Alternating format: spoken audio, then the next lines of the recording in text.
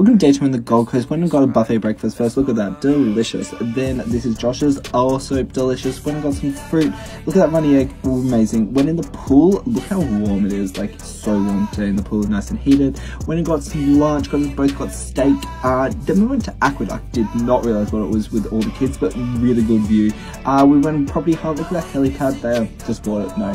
Uh, got this sticker. Amazing. Then went on the beach with a boost and then went out for dinner. Hopped on the tram. Nikki picked us up. Uh, went out for pizza and then went to uh, Top Golf. Mm, look at how bad that is. So much better I was. She went and nearly hit me with that stick. No. Look how good that was. Like amazing. Went and got some cocktails and then the lights came on. Like no, it's nine o'clock, people. Uh, really bad I was. Josh went okay and Nikki also went okay. But yeah, when I said bye to Nikki, I hopped on the tram and came back. Okay, bye. See you tomorrow.